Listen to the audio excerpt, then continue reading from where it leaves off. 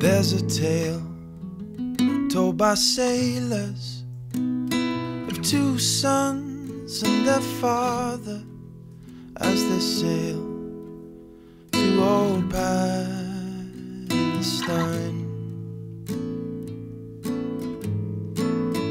True were these brothers that sailed to bury their father.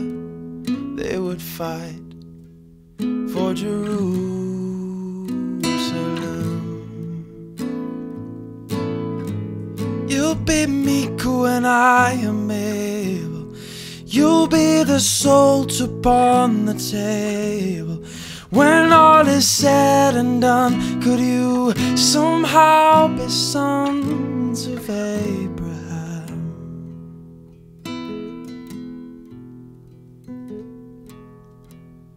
I was told by a stranger, young blood thrown to the desert. He united people with his hands in the